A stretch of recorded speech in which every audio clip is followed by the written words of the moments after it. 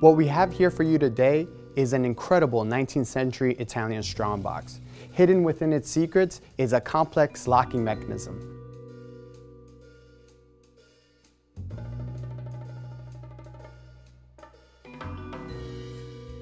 So the very first step is finding the four hidden keyholes. You use this pick to reveal the first set. Then right above it, reveal the second lock. And on this side is yet another hidden keyhole. Afterwards, you place every key within inside their designated keyholes.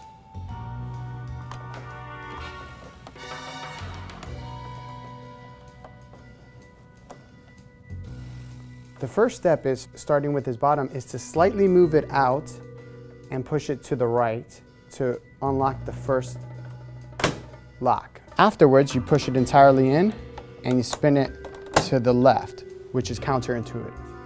Then you move on to the top lock here, where you spin it regularly to the right. Afterwards is followed by this wooden dowel. You push it in and you hear another mechanism unlock. Finally, we move to the last two keys. The first of which is this middle key, you turn completely to the right once, and then the small key until you hear the last mechanism unlock. Then finally,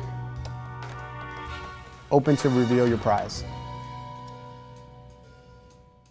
Discover a world of luxury at MS Rau Antiques.